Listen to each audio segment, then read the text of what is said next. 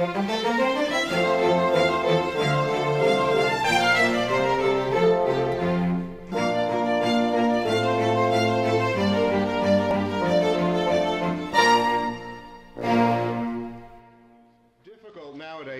at St. Peter's Basilica to realize that the church is built on a small hill, which in ancient times was called the Mons Vaticanus, which means in Latin the hill of prophesying.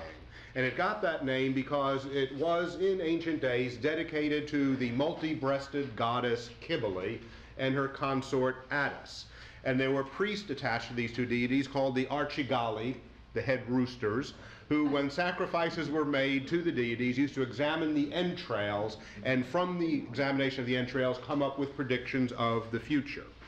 But the area around the small hill of Mons Vaticanus was famous for another thing, and that was its mosquitoes. It was a great pestilential swamp surrounding the Mons Vaticanus, and if it was famous for its mosquitoes, it was infamous for the wine it produced. Ancient Romans were not of one accord as to what Vatican wine tasted like. Some said it tasted like vinegar, and others said it tasted much like poison. And so to remedy this, it was Agrippina the Elder, the mother of the Emperor Caligula, who decided to drain the marshes around the Mons Vaticanus and recultivate the land.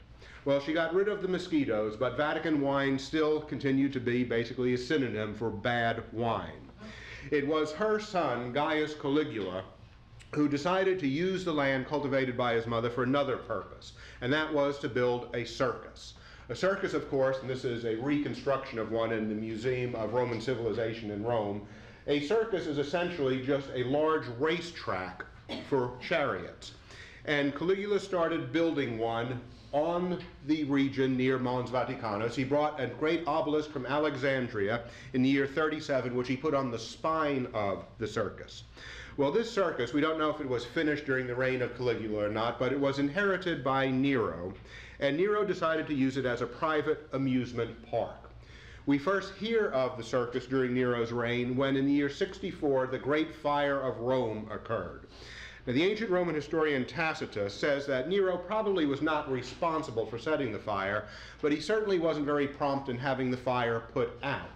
And so, as public sentiment rose against Nero, he needed a scapegoat, and a very convenient scapegoat was a new religious group called the Christians.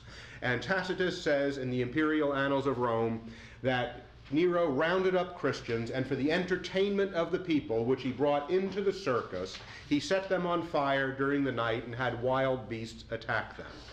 It is according to Christian lore that in the aftermath of the great fire, St. Peter was crucified head down on the spine of the circus of Caligula and Nero.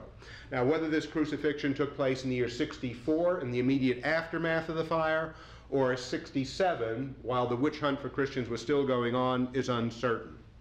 A Christian source writing around the year 200 AD, a man historians refer to as the pseudo Linus, said Peter was crucified near the place that is called the circus next to the obelisk of Nero on the hill.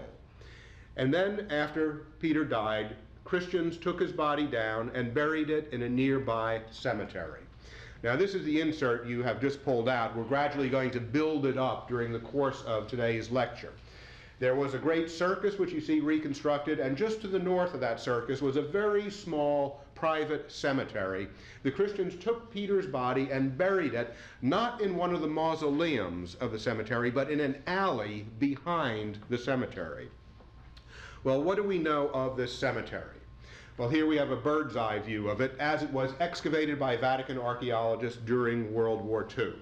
The cemetery was built on sloping ground going up the Mons Vaticanus. It was started around the early part of the first century AD, continued in use throughout the second and possibly the third century AD.